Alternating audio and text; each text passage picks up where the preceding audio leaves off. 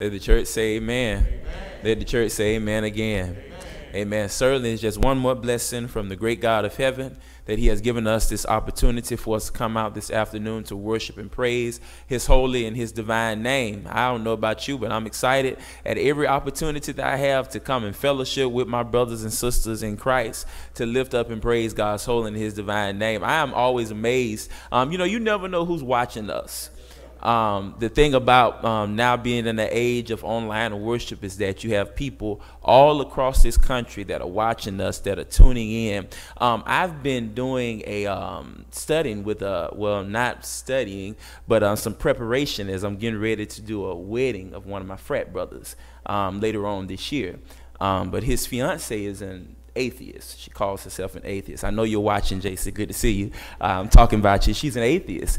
Um, and so um, they text me after we got out of um, worship service this morning um, and said that they had been listening. And you told me that she wants to have a Bible study. So she wants to she wants to learn more about God. She wants to learn more about the church. So I asked that y'all would pray pray for us. Pray for us and uh, pray for us in that endeavor um, that God's word will have free course um, in her life. Because I would have you to know that the gospel is God's power to save mankind and is still in the soul saving business on today. So good to see everyone that has come back out on this afternoon. If you have your copy of the Word of God, be going to Colossians chapter 3 and verse number 16. Um, for anyone that's been in the Church of Christ two days, you know this scripture. Um, it's, uh, it's a very familiar um, passage of scripture. Um, and we started on last week um, dealing with um, some lessons on encouraging us how to get the most out of our worship experience. And we talked about that on last week, how to get the most out of worship. And I said over these next few weeks, we want to look at the various aspects of worship um, because if we're not careful, as I said, worship can become routine.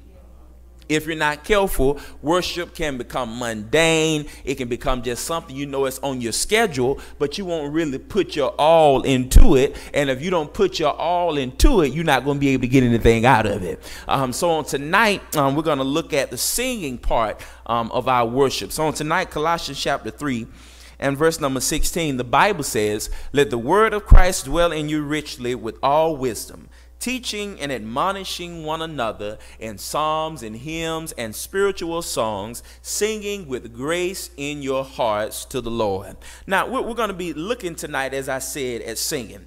And I want you to understand that singing is an important part of our worship to God. And if y'all really think about it, we spend about a third of our time here on Sunday morning singing songs. That's what we do in our worship service. We spend that singing. So I like what the psalmist David said in Psalms chapter 100, verses 1 and 2. He said, I will make a joyful noise unto the Lord, all ye land. Then he said, Serve the Lord with gladness and come before his presence with what? Singing. So, so, so while there may be a few that maybe not like to sing, most Christians love to sing praises unto God. And we certainly know that singing brings about a great joy because David once again says in Psalms chapter 63, verses 3 through 5, he says, Because of your loving kindness is better than life, my lips shall praise you. Thus I will bless you while I live. I will lift up my hands in your name. My soul shall be satisfied as with marrow and fatness,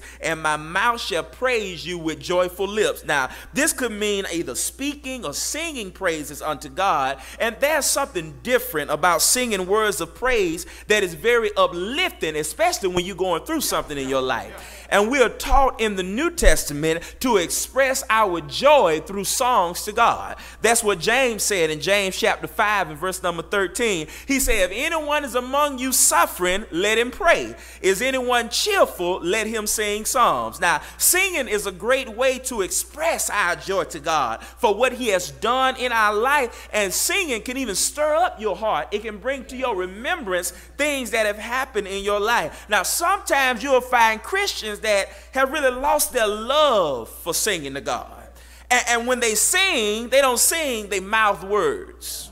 Or, or, or, they just don't sing at all. You know, you know, and, and, and, I'm sure we, we have all seen Christians like this. And while there may be some, I think it don't really hit the sisters like that. I think it's really for us men. I think we we really have that issue about not really open up our mouth and singing unto God. So our singing should not be without church. Get this emotion. You got to put some emotion into your singing. And just like everything else, when you're offering it up to God, it ought to be the best that you can give to God. Now, some of those who do not sing well will say, you know what, I can't carry a tune. There will be most of us, you know. You know, on a good day we can't carry a tune. Amen, amen. Somebody say amen. But I can promise y'all that you being able to carry a tune does not matter to God. Because God is more interested in your heart being engaged than he is interested in what your voice sing like. So you may not be able to sing like Aretha. You may not be able to sing like Mahalia. But as long as you can open up your mouth and give God your best, it comes up before him as a sweet smelling savior. So, so, so, uh, and so I know of some entire congregation. I've been and preached at a lot of churches, and I've been in some churches and nobody had a tune. Tell the truth, shame the devil. Ain't nobody, ain't no, could nobody carry a tune, but guess what? They sang and they gave their best to God. And, and, and I, I, love to see people, I love people, you'll meet older men that may have a third, fourth, fifth grade education, may not be the most educated people, but when they pray, when they're able to participate in the worship service of God, man, you would think they was, they give their best, they do the best that they can. Now, one thing that's going to help you to get the most out of your singing is to remember why you sing. Remember the purpose. Remember what the reason for you singing is all about. Now, one of the main reasons we sing, number one, is to praise God. That's why we're here. So that we can praise God. We can see this in the very word where it says, singing to yourselves in psalms and hymns the word hymn, which comes from the Greek word hymnos, which means a song of praise. That is what it means. It means a song of praise. So praising God should come naturally to Christians because we got a lot to praise God for. Now, again, we want to notice how David responded in song to God for the blessings that he gave him because when you, if you realize it or not, when you read the book of Psalms, you ain't reading them but a bunch of lyrics. You ain't reading them bunch of bunch of songs. This is how David responded back to God. So he says in Psalms chapter 28, verses 6 and 7, he said, Blessed be the Lord, because he has heard the voice of my supplications. He says, The Lord is my strength and my shield. My heart trusted in him, and I am helped. He said, Therefore my heart greatly rejoices, and I will sing my praise to him.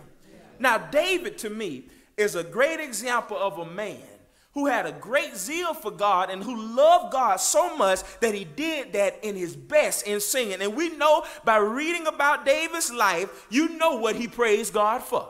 You know what he thanked God for. He engaged in this in his entire being. Now, while he was guilty of many things, no one could ever accuse David of not praising God. As a matter of fact, God even said that David was a man after his own heart. Now, now we should have this same excitement that David had when he praised God. We need to understand that when we sing, we are singing praises to God Almighty. And we can just imagine that in our minds that where you're really at, you're not really at. What do you mean, preacher?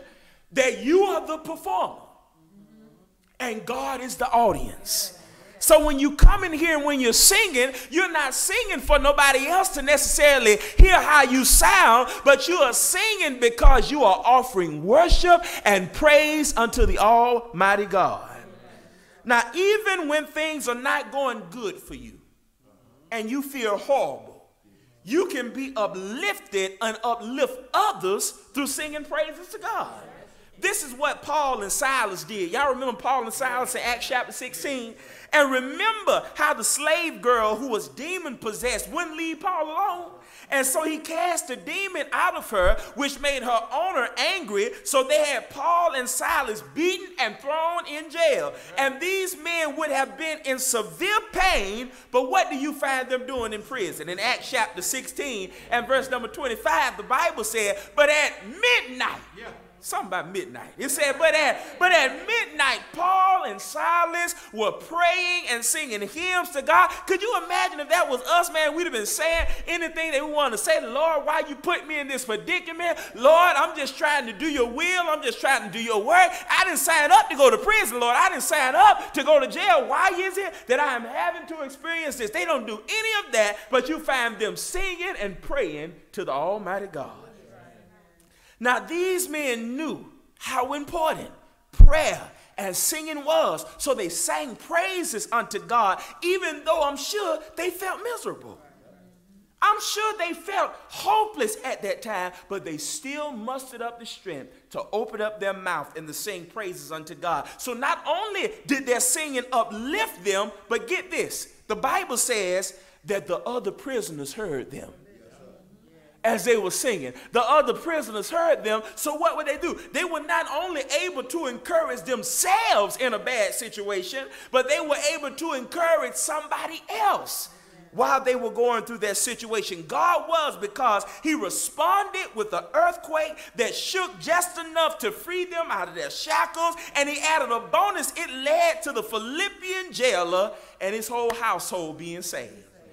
Hebrews chapter 13 and verse number 15 says, Therefore, by him, let us continually offer the sacrifice of praises to God, that is the fruit of our lips, giving thanks unto his name. Now, this verse includes singing praises to God, and it teaches us that our singing is considered a spiritual sacrifice that we offer up to God, that we offer up to God as we praise him and as we give him thanks. Now, let's see how Peter describes it. Write this down in 1 Peter chapter 2 and verse number 5. This is how Peter describes it. He says, You also, as living stones, are built upon a spiritual house, a holy priesthood, to offer up spiritual sacrifices acceptable to God through Jesus Christ. Now, we are described as being a holy priesthood.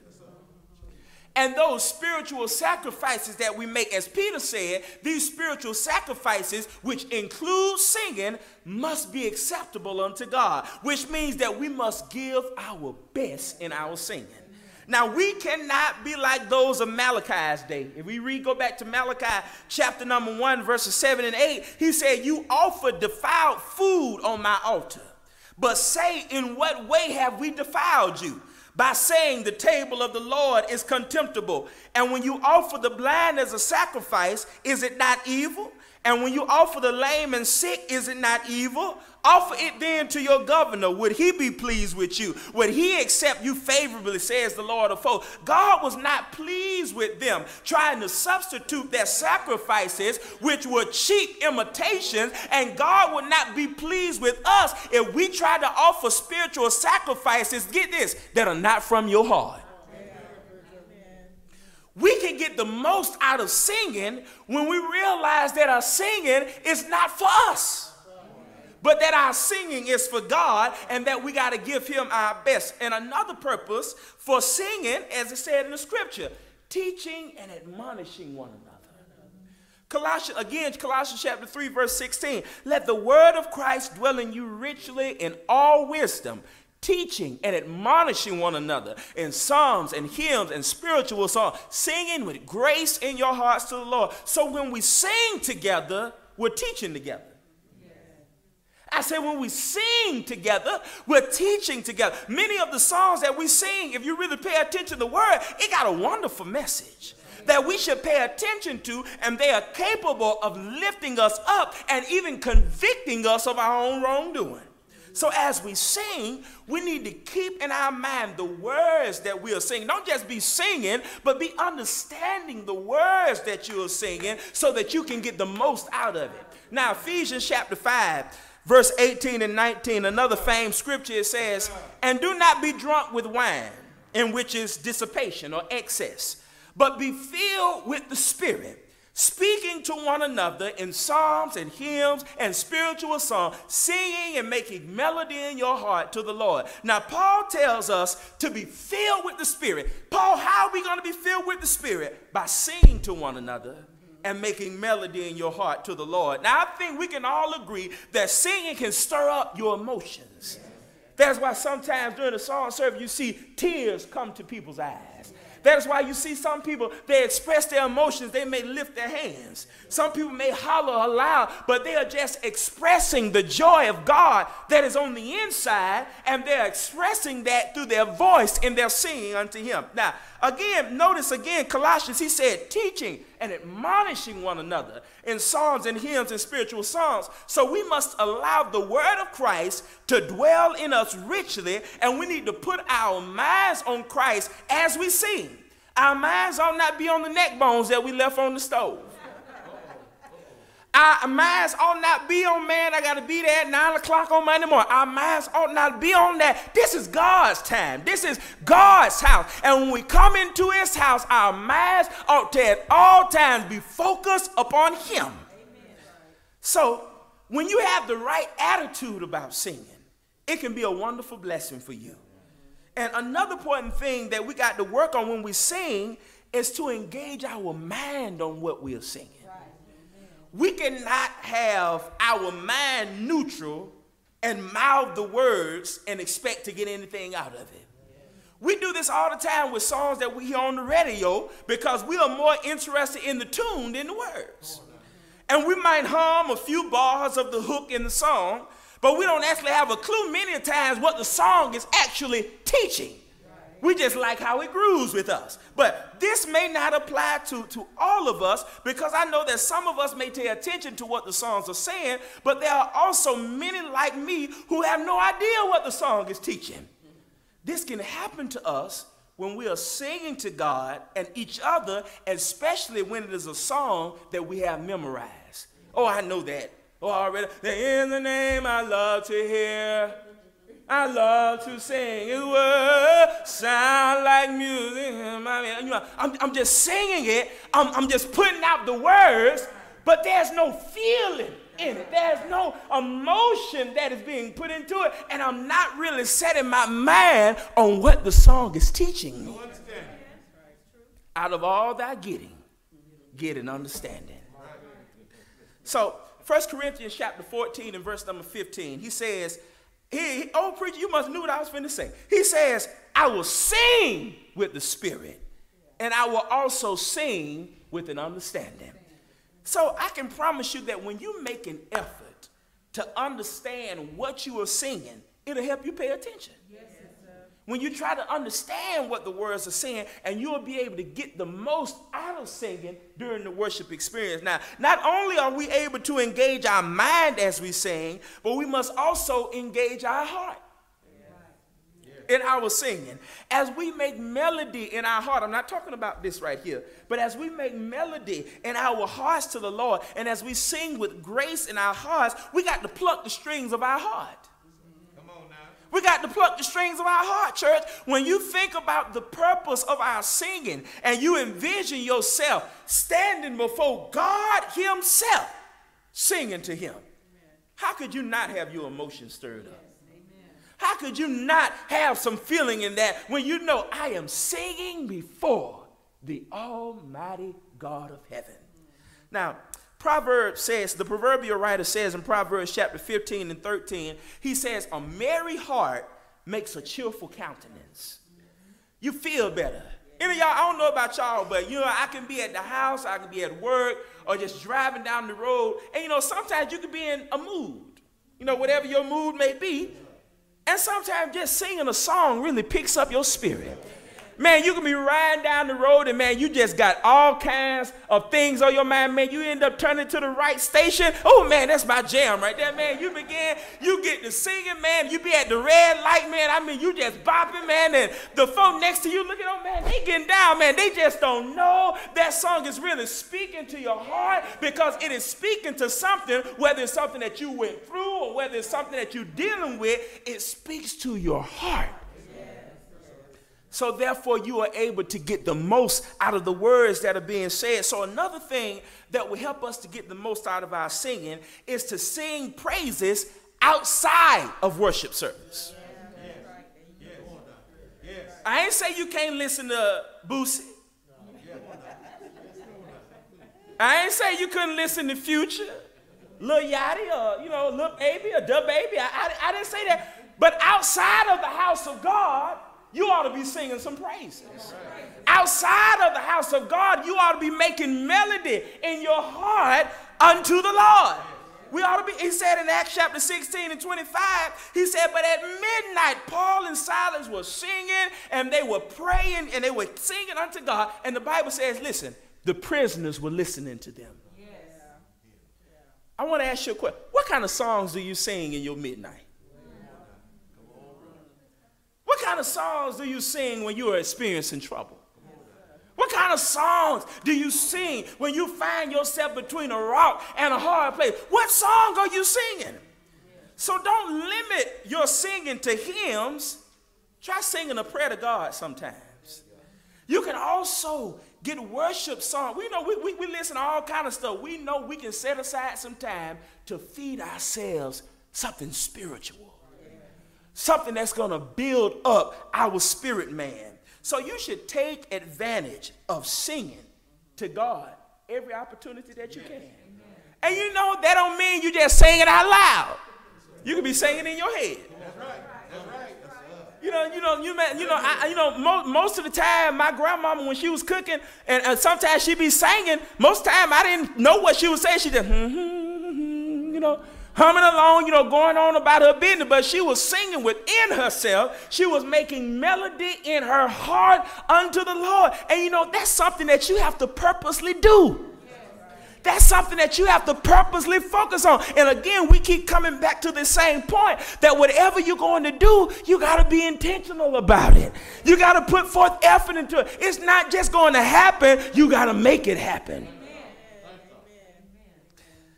One tip that, that I mentioned is that on last week, when I talked about one thing that was going to help some of us pay more attention in church was sitting closer to the front. And then I talked about how when you're sitting up here, you're able to hear all of the voices that are behind you.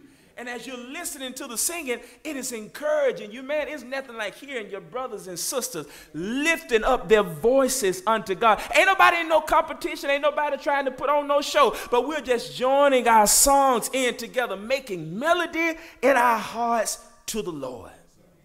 Singing is not just something that's on the schedule, it's not just something that's on the program. It is an intricate part of our worship to God. So if we're going to sing, we ought to want to give our best. If we're going to sing, we ought to want to put our all into it. And that includes some emotion. You know, one thing, one thing, uh, you know, eh, eh, eh, if we're not careful, we can get in this. In a, a, lot of churches, you know, they already have a schedule. You know, you, you sing your three stanzas and you sit down. You sing your two verses and you sit down. But you know, sometimes you can be singing songs and you can just see how the song is just blessing people while they're singing. So what you don't want to do is quench the spirit. That's what you don't want to do. That's what, and a lot of people you can see, you don't know who that song is blessing. You don't know how that is encouraging that person. Sometimes you, amen, you might have to just restart over and go over back over the verse, go back over the lyric, hit it over again. We got all the time in the world for people to be blessed. We got all the time in the world for people to be encouraged. So, what we don't want to do is get in a hurry and miss God. What we don't want to do is get in a hurry. I, I, I was joking with a, a, preacher friend of mine. He just um, at this uh, congregation that he's at now. They have they have they have this thing that church got to be over with in an hour. Not us, but um, hey, Clyde. But, um, uh, uh, you know, they got to be out of church in an hour. You know, and I was telling him, I said, man, I said, do you know y'all be done goddamn left and Jesus ain't never showed up?